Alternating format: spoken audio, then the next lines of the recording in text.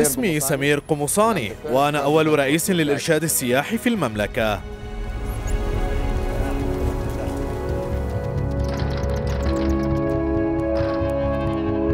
البلد. نحن في حي البلد.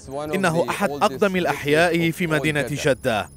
تعرف جدة بأنها المدينة الأجمل على شاطئ البحر الأحمر في المملكة العربية السعودية.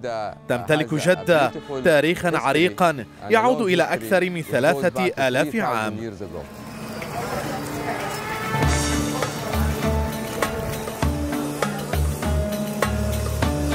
السوق في جدة يعتبر قلب المدينة. السلام عليكم.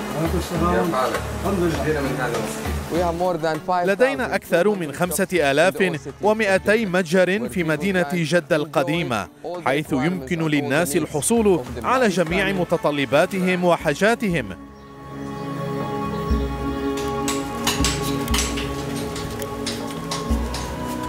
Actually, في الحقيقة فإن جميع المنازل في مدينة جدة القديمة بنيت من عنصرين اثنين الحجر والخشب. لو ذهبتم في جولة ضمن مدينة جدة القديمة ستستمتعون برؤية الشرفات التي نطلق عليها اسم روشان والتي تم نحتها ضمن الخشب. إنها جميلة للغاية. تمتلك روشان أو شرفات الخشبية ثلاث وظائف أساسية. أولا منع أو تقليل دخول أشعة الشمس إلى المنازل وضمان الدفء فيها.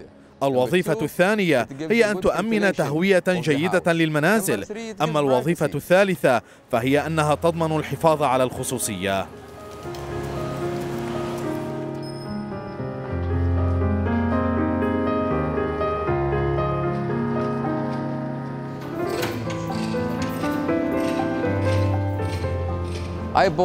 ولدت في مدينة جدة القديمة. يخامرني ذلك الشعور الخاص تجاه كل حجر باب وروشان. لو كان بوسع تلك الأبواب وشرفات الكلام فستفصح عن قصص الحب حول هذه المنطقة. مدينة جدة مليئة بالحب وكل من يمر في تلك الشوارع الضيقة سيشعر بذلك. فأهل جدة هم أهل الحب.